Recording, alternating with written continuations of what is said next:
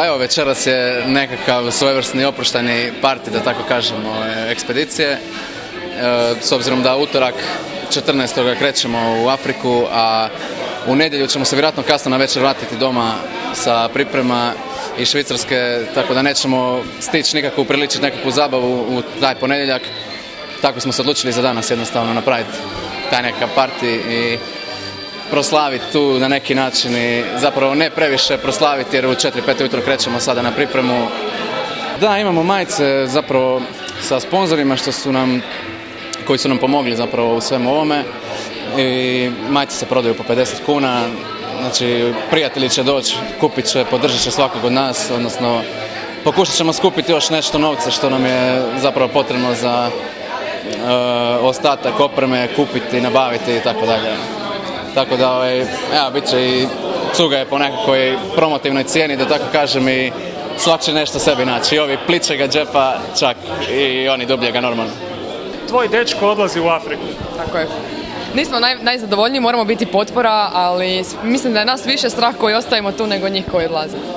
Bojimo se lavova, tigrova, e, tazmanijskih žavola, vragova, buba švaba, svega, svega. I ninja kornjača. Ali daješ mu potporu. U svakom slučaju.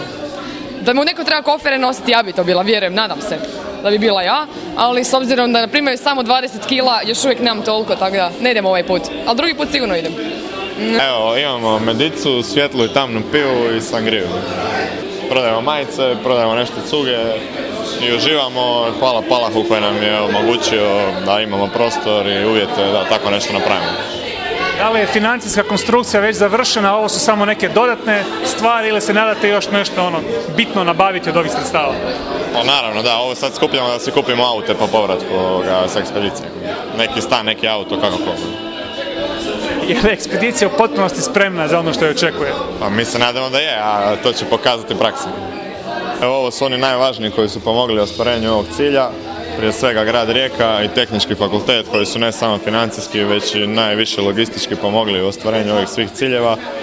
I ovo je evo, jedan kratak sažetak onih koji su nam najviše pomogli. Svima hvala od srca i nadamo se da ćemo surađivati na još kojem projektu u budućnosti. Što? A, evo, tvoj brat ide u Afriku, ti ostaješ u Rijeci, kako se sjećaš? Pa, osjećam se dobro zbog njega, ali, a loše zbog sebe, tako. Ali ja ću neke druge godine otići, tako da mi je praktički svejedno što on sad ide. Mislim, drago mi je što ide, ali mi je svejedno u tom smislu, jer ću ja jedan dan sigurno otići tako na neki put daleki. Vi ste došli ispratiti nekog Tako je. koga? E, našeg prijatelja. Sandra, tada smo došli ispratiti. Sandra Ross. Da, i eto tako.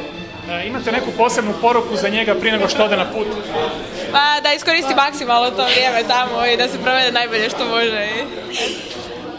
Zadnja izjava bi bila da ja jedva čekam da mi krenemo, jer je od ovog ostalog mi već preko glave.